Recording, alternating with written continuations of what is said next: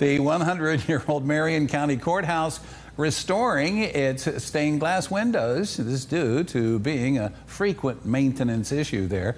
$100,000 grant was given to maintain these historic windows. The first phase is consisting of 21 panels from three sections of the main dome's roof to be worked on. The overall project will take up about three years to officially complete. Every year we come up with some type of new project.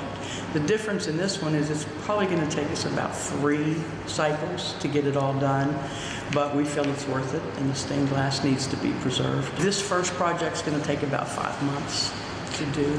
And what they did was they came in, they removed the glass, and they took it back to their studios to restore. And for more information, you can go to our website, of course, WBOY.com.